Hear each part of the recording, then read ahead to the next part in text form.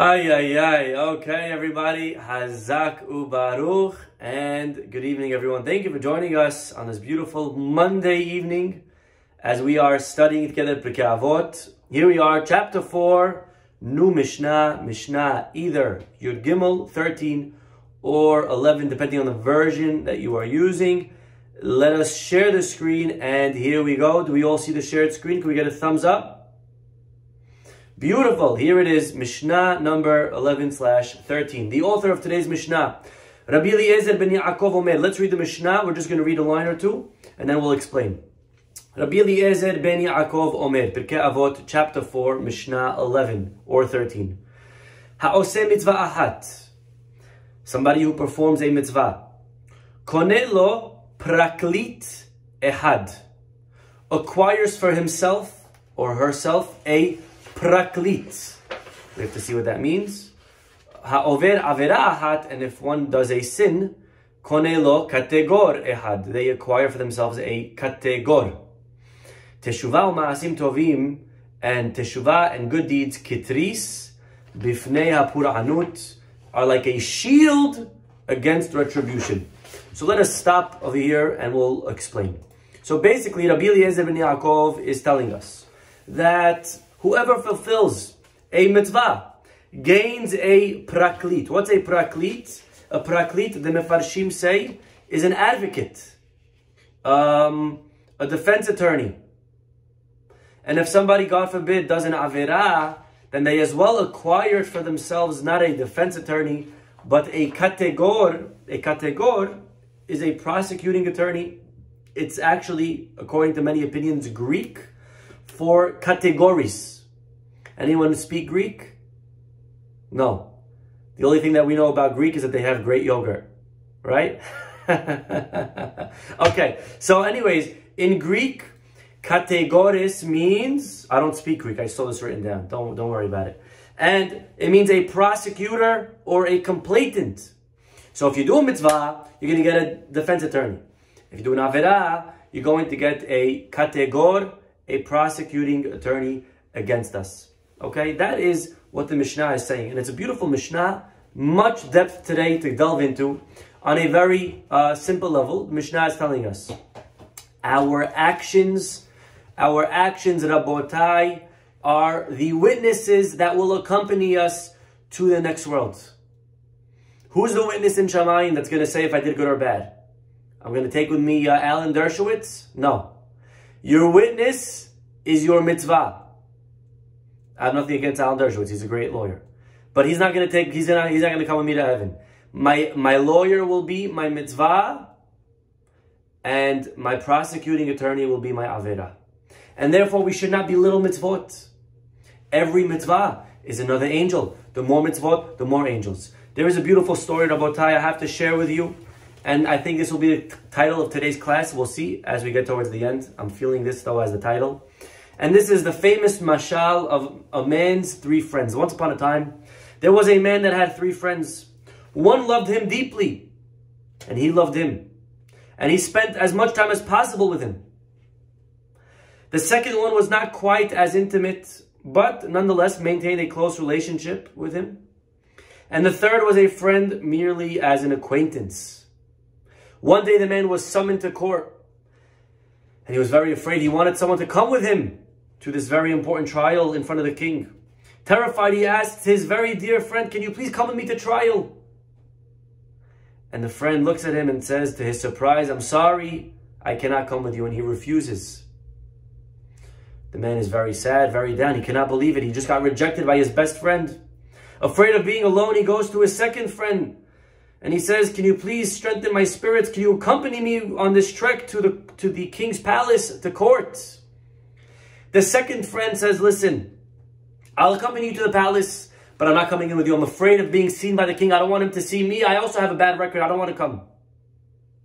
And finally, fearful for his life with no other options, he asks his casual acquaintance, can you please accompany me to the trial, to a very important day? And the third friend, to his surprise, says, I understand you. I know your, predicament. I am ready to help you out. Not only, don't worry, not only will I come with you, but I will personally come into the king and plead your case on your behalf. This is a beautiful mashal. And the nimshal rabotai is that a man has three friends. The first friend is our money. A person spends this whole life breathing money, thinking about money. The second they wake up, how much of it will I make? The stocks crashed today. I can't believe it. What will be tomorrow? Should I should I should I short my stocks? Should I double down? What should I do? Right? All day long we're thinking about money. We spend our life and energy in to, to pursue in the pursuit of money, to attain more of it, to protect it. All we do is think about money, money, money. That's our best friend. And it's at the, even at the expense sometimes of our friends and family. We put aside our children. We put aside important things in life because I got to make money. I, I need to make money. And so the first friend that a man has, his best friend, so to speak, is money. And when he will arrive, when a person will arrive at the final reckoning, at the gates of heaven, after 120, when a person will go to Shamayim, and the most important and the only court case that matters in our lives, that's the only one that really matters ultimately, is the one that's going to be after 120. A person will turn to his best friend and say, Money, come with me. Maybe I could use you. You'll help me. I'll bribe. I'll try to take a good judge, a good. The money will laugh and say, What are you talking about? We cannot come with you. We cannot come with you. We're sorry. We stay here. Second, a man will then have no choice. He'll turn to his family, who unfortunately is reduced to a secondary role in his concerns in his lifetime. Nonetheless, they love him, no matter how much a person ignored his family, his kids. They will love him and they want to help him as much as they can. However, they know also they cannot come to the next world. They could accompany us to our burial. They accompany a man to the gates of, of the palace, but that's it. More than that, it's too late. I cannot come with you further. And they stop there. And with no other choice, a man finally turns to the mitzvot, to the tzedakah, to the Torah that we learned. And we say, will you accompany me? You know, I didn't, I wasn't so proud of you. I didn't give you as much time maybe as I should have. I only spent an hour a day with you as opposed to my family, as opposed to my money maybe you'll come with me. And the mitzvot jump up and down and say, yes, yes, we are here. We will come with you. We will fight for you. We will defend you to the death to make sure that you get the best verdict possible. And these mitzvot are what testify on our behalf. Rabotai, it's true in mitzvot and it's true as well with averot. We need to remember that our averot will be prosecuting our, against us. They are the prosecuting attorney. Matter of fact, says Resh Lakish in the Gemara, Hu hamalach, hu hayetzerara, hu hasatan, hu malach hamavet. I'll translate. He is the evil inclination, aka the angel of death, aka Satan. It is all the same person. First, he comes to entice us. And he says, here, come on, do this sin. Eat this food. Say this thing. Watch that. Do this. Act like that. Have these feelings. And we accept and we follow and we eat and we obey. And then that same, that same wicked Yetzer Hara, he takes the Averot that we did, he takes those angels, he rides up to the heavens and he says, God, look, look what he did against you and he serves as the prosecuting attorney, fighting against us to kill us, to cause us the most pain as possible. And once God agrees and says, okay, you're right, he's guilty, he runs down and he issues the verdict as fast as possible, as the angel of death, as the malach mavet, to our demise, to our death. And therefore, warned us Resh Lakish, we have to be very, very careful. Think about your averot, Every Avera that we do, we're acquiring for ourselves another kategor, another prosecuting attorney. We don't need more against us. We need more defense angels. We need more mitzvot protecting us. Matter of fact, there's something very deep over here. We usually think of averot and, and onashim as punishments, right? As uh, I did an avera and now I get punished, right? That's usually how we think about it? I did something wrong and now God is going to punish me. But we have to remember something very, very important. God doesn't need to get even. God is not affected by my averot that he now is like, oh, look what you did to me. Ah, and now I'm going to pay you back. Hashem doesn't need to pay back. He's not affected. He cannot be affected. He is perfect in perfection. Nothing that we do can alter his state of being. So what's a punishment for? Why punish me? When you do something to me, I punish you because it's not nice. I want to get even. I want to make sure you don't do it again. When Hashem punishes, it's not it's not a punishment. The Sfarim write more, it's really a consequence. Beautiful. Exactly, it's a consequence. You wrote it before me, don't worry, I saw. It's a consequence. Just like when you sit in the sun and you get sunburned. Is that a punishment? Not a punishment. It's a consequence. It's a result of being exposed to the sun. So too when a person does an Avera, the way God created the world was that the Averot create a consequence, sometimes in this world, sometimes in the next, but it's nonetheless a consequence of our actions. And therefore, we have to be very careful. Because we are creating, with every, every negative deed, we are creating an angel. And this is a very scary thought. Because we think again of Gehenna, we think of all of these things as a fire, as a place of heat, as a place of punishment. Rabotai, Gehenna is much, much scarier than fire. Much scarier than fire. What could be scarier than fire? My mother-in-law? much scarier than fire.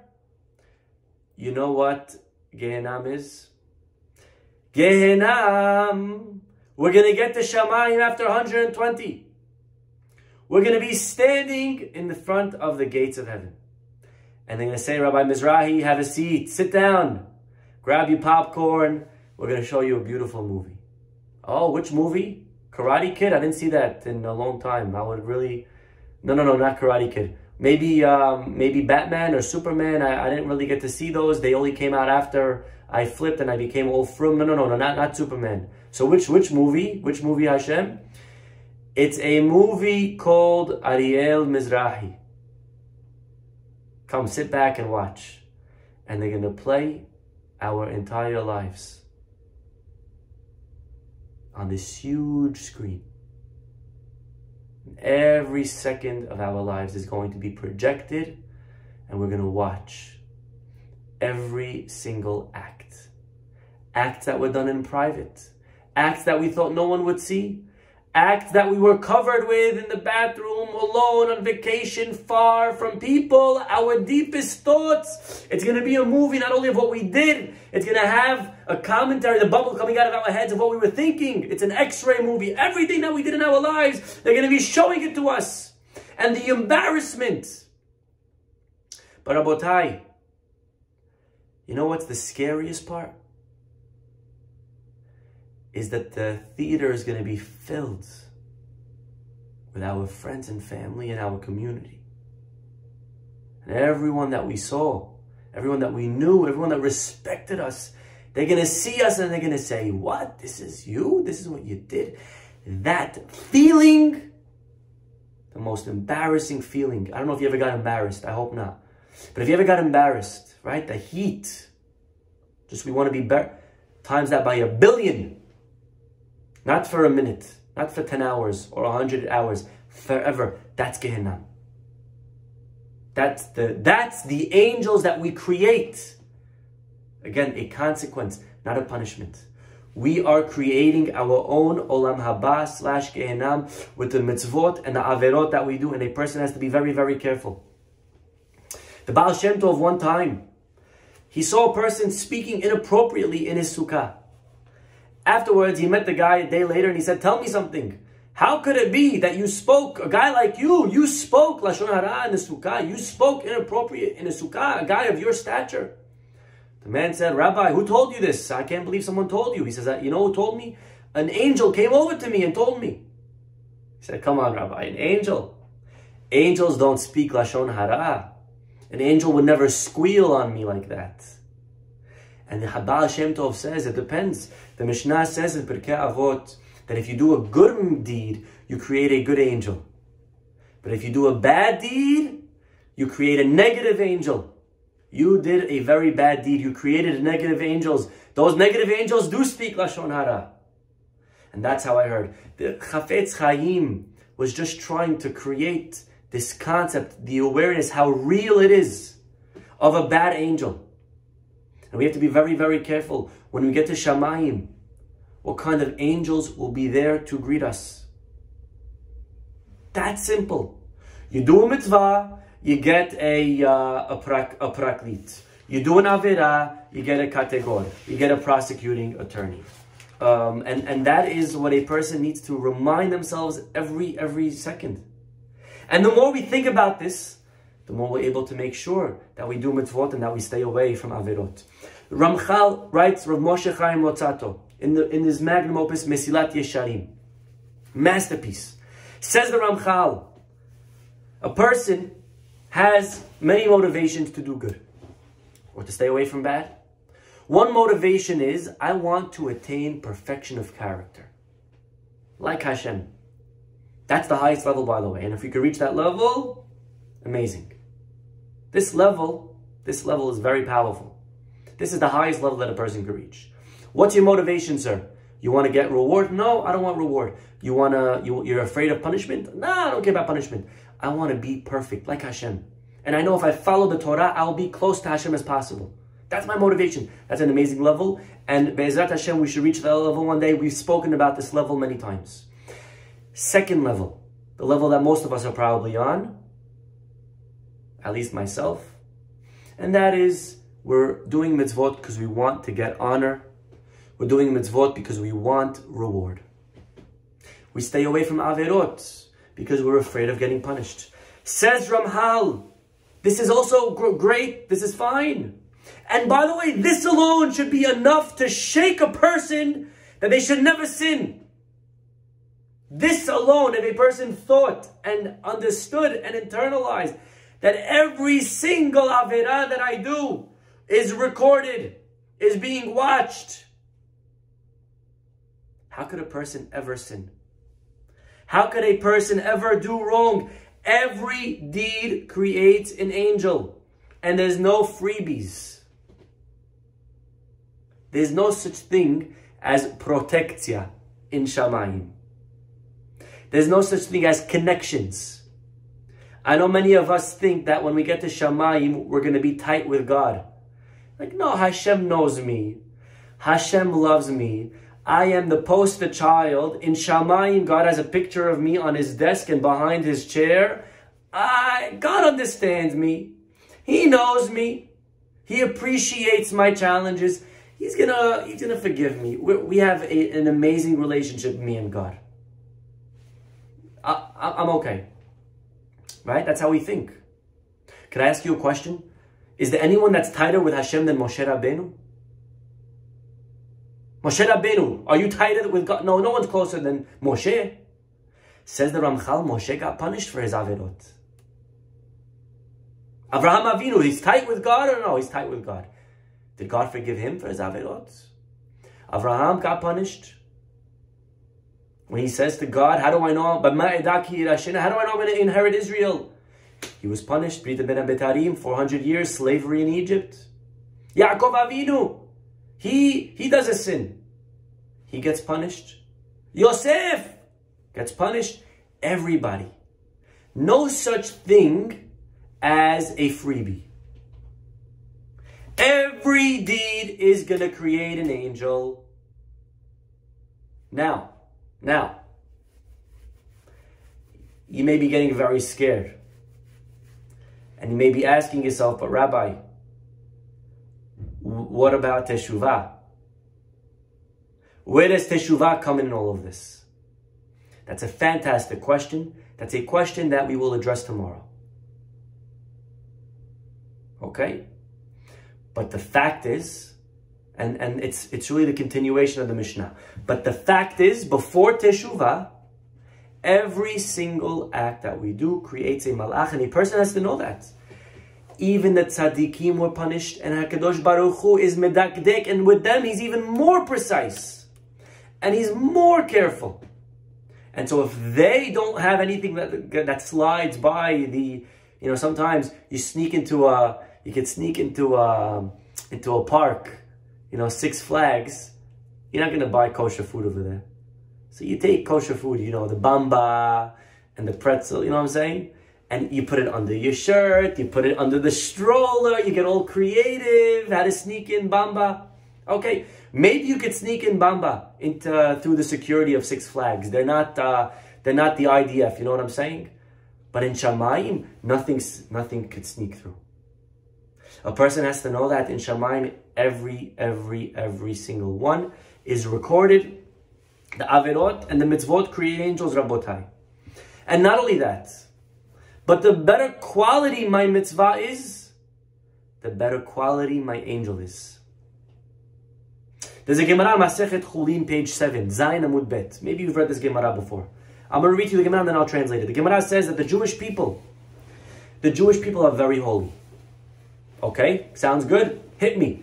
What is it that we do that's so holy? Says the Gemara, very simple. The Jewish people are so holy. Some of them want to give. They want to do good, but they don't have the means to give. And some of them have the means, but don't want to. How, how does that prove the holiness of the Jewish people? The ones that want to give but can't, and the ones that do give but don't want to. Says Rav Zusha Me'anapoli, a fantastic chidush. Says Rav Zusha like this, I never knew this. And, but, and, and this is a big chidush. When you hear it, you'll understand why it's such a novel idea.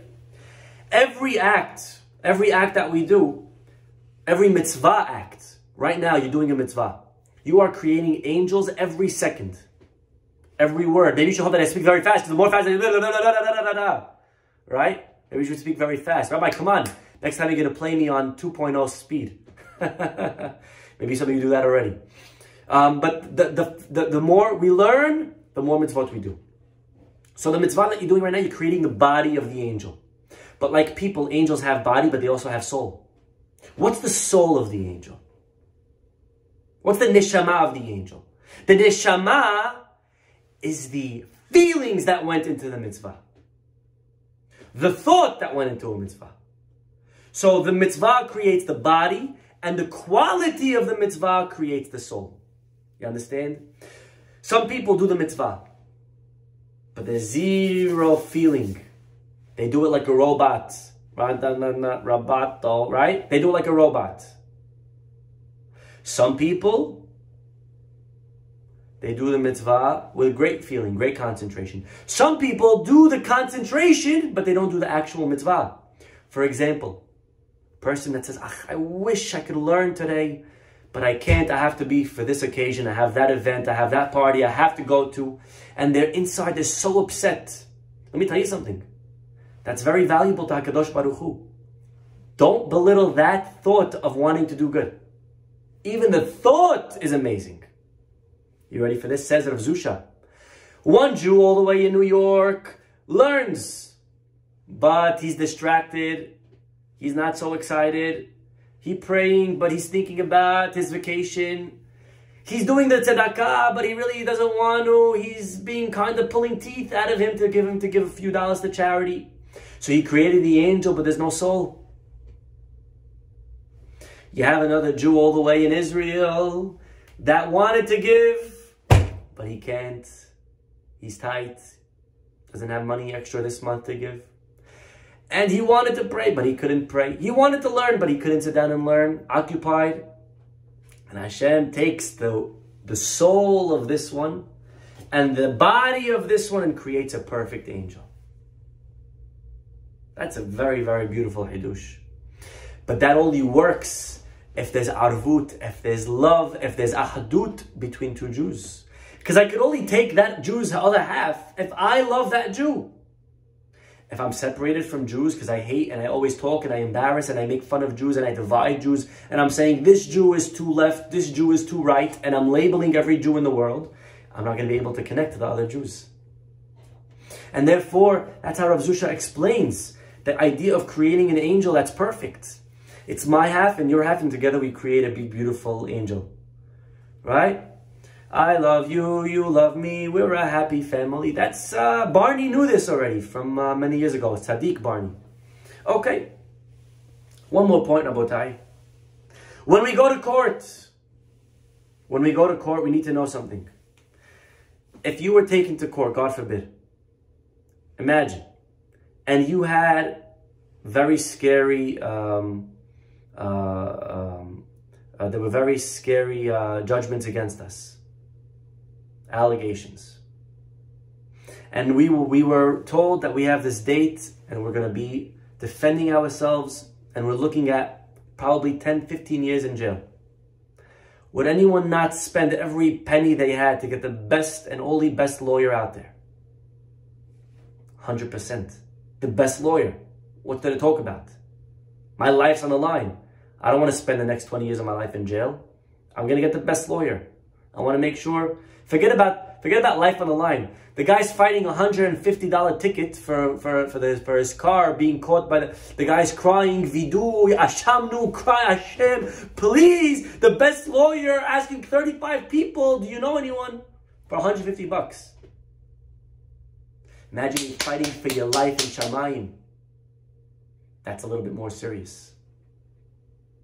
I think we could agree that's a little bit more serious. Yeah? The Sfarim tell us, our Mishnah reminds us that when we go to Shamayim, you know who's going to be your lawyer? Your mitzvah. You want to have the best lawyer or you want to have a Hazit okay lawyer? A Nebuch lawyer? Who wants anything less than perfect? You want the best of the best? The best lawyer? Well, you better make sure you have the best mitzvot. Says the Chafetz Chaim, how sad would it be if a person gets to Shamayim and he's going to see a whole room of angels waiting for him for his court case. And he's going to get to Shamayim and he's going to see hundreds of strong, beautiful, tall lawyers. And then he's going to see a whole bunch of crippled lawyers in wheelchairs, on crutches. He's going to need to bring a doctor with him to heal all the angels. Call me Dr. Fauci. I got a bunch of angels I needed to heal. You know what I'm saying? Imagine you get to Shamayim and you see all the strong angels. Who are these strong angels?